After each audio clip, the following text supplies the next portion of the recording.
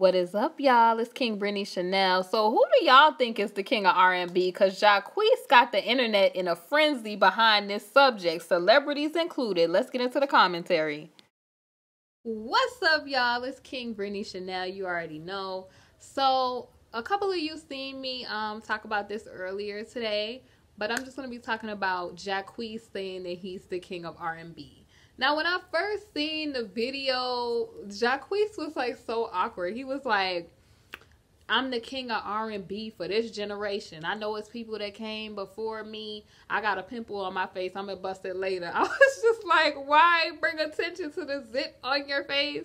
But it was just so crazy. So I'm on complex.com, y'all. This article was written by Joe Price. Um, and it's Pigeons and Pigeons and Planes contributing editor at Backwoods Altar. So yeah, that's the person that wrote this. And it says Decatur. Shout out to Decatur where it's greater, y'all. Shout out to Decatur. Decatur, Georgia singer, songwriter Jacquees has never been shy about flaunting his talents, taking plenty of opportunities to prove his abilities, but his latest claim is still a bold one.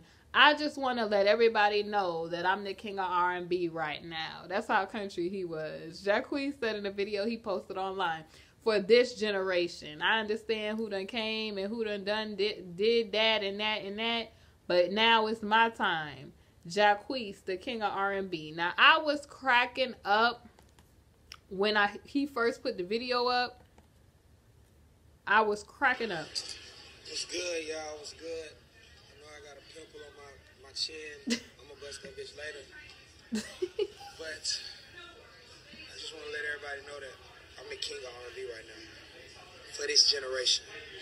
I understand who done came and who done did that and that and that, but now it's my time. Jacquees, the king of R&B. I just heard him say it, and I've, I've been feeling like that.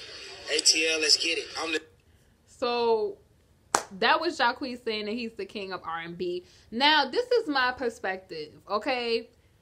I feel like you're supposed to think that you're the best at what you do. Like if you don't think you're the best, who is? You know what I mean?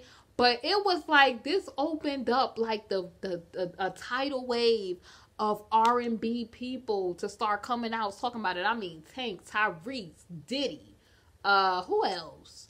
Jay Holiday, honey, Jay Holiday was like it's only three kings, and then the lady bust out and had me laughing. Are you valet? He said, baby, I ain't valet. This with a Gucci jacket on. But I'm like, why you bringing emphasis to the fact that you had a Gucci jacket on though, bro? You shouldn't be outside with your scully this far down and sitting outside in the parking lot. It's a parking lot, okay? You should not be outside with your scully down like this and you in a parking lot and think I'm not about to ask you, are you valet? And Jay Holiday, if you now I like Jay Holiday, y'all. I liked him from now even though I'm trying to play it off, I'm thinking about you all day long. That Jay Holiday. I can't breathe when you talk to me. That Jay Holiday. Jay Holiday was the truth back in the early 2000s, y'all. Like I, I love the song Bed, Suffocate. He was popping like back then.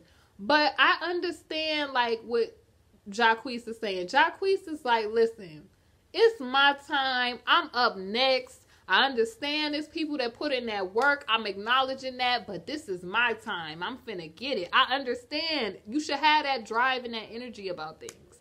Now, I wouldn't go as far as to say he the king of R&B because there are people it's a lot of people making R&B like Chris Brown, Sammie, Miguel, uh, Mike Sean, Malachi Warren, uh, who else was making out here making R and B lately? I mean, there's a lot. Adrian Marcel. It's a lot of people making R and B out here. The dude Vito from uh YouTube. It's a lot of people making R and B out here. I think it's just that it's not. Oh, Trey Song cannot forget Trey Songz and Mario. Cannot forget those two names because Mario just dropped a project. I just think that we are in a time where trap music and everything is is really popular right now.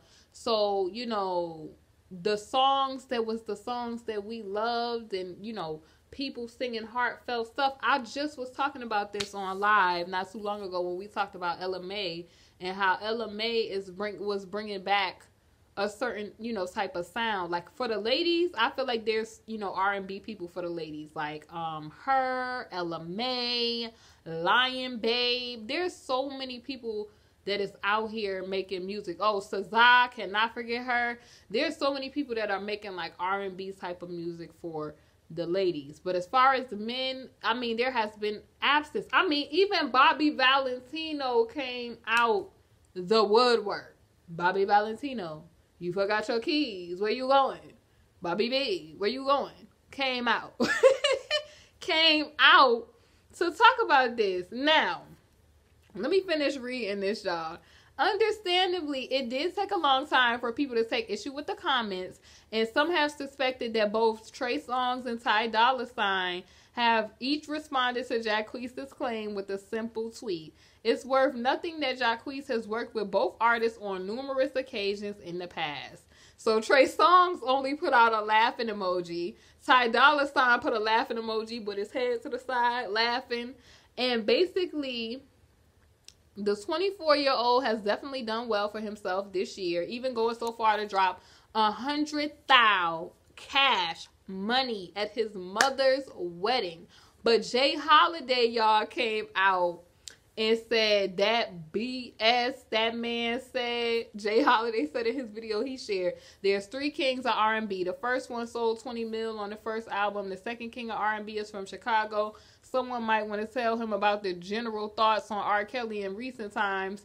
But regardless, Holiday is clearly not happy with Jacquees. And listen, it's always people from older generations that kind of have a problem with, you know, the up and coming sometimes and I, I don't I don't see why. I mean Jacquees is talented. I wouldn't go so far as to say he's the king of R and B, but I understand what he's saying. Like I am you know, I'm I'm I'm it. You know what I mean? Like that energy. Like this is my time. I'm up next. Like I'm kicking down the door. I'm busting the hinges off. Like I'm coming through. Wendy Williams move over. You know how bloggers be like, Wendy Williams move over. I'm up next. Like everybody has their era. Bad Boy had an era. Cash Money had an era. No Limit had an era. Everything has an era. So a lot of people was giving out names like R. Kelly. R. Kelly was popular in a early, early era. Chris Brown, early 2000s. Was it early 2000s? Chris Brown and Trey Songz was popular I mean, when I was in high school, like early, early, early 2000s, you know what I mean? So Chris Brown to me is more so pop. Trey Songz is so talented, but Trey Songz is not like people got to stop with that selective hearing stuff. He said in my generation. So Jacquees is 24, okay? In his generation, Chris Brown ain't in his generation. Trey Songz ain't in his generation. R. Kelly ain't. Tank ain't. Tyrese ain't in his generation. And Jay Holiday, no, he not in his generation. So I understand what Jacquees was saying. Now, as far as, and Miguel is not either. I think he just meant like as of right now because there's people that they're popular. They had their collection and their collection of work. They're still popular, but they had they had their time but it's kind of like, okay, Ella Mai is up next. Yeah, we know Rihanna is talented. We know that she put in a lot of, you know, she had a lot of hits. But, you know, now it's this person's time. Yeah, we know Beyonce is talented and she put in a whole collective of work. But everybody has their era. Now, Norm, what's her name? Normani is up next.